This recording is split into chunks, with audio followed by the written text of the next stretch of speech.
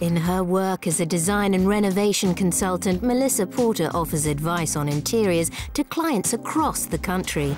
It's the one asset that you're going to spend the most money on in your life. Yeah, but the problem is, is it an asset? The bedroom's at the top of the house, in the eaves, quite a long way away from the water. If I'm quiet, you can still hear it. Which, if I was lying in bed relaxing at night, would be lovely. But now, it's making me feel like I need the bathroom, which fortunately is just over there.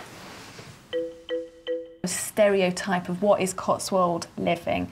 It's kind of Miss Marple, stuffy, kind of twee little cottages. This place, okay, from the outside it looks very chocolate. Functionally it works for a family, but if it is going to be Britain's best home,